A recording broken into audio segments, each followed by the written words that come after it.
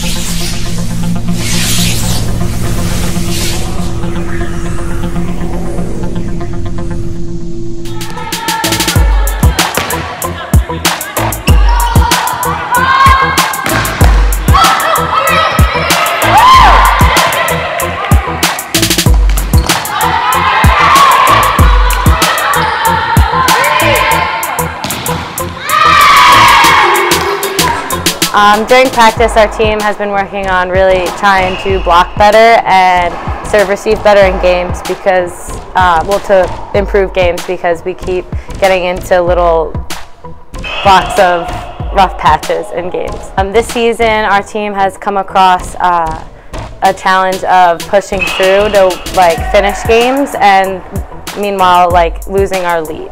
So basically, like we're trying to work on um, pushing through and finishing a game and keeping our leads that we gain in the games.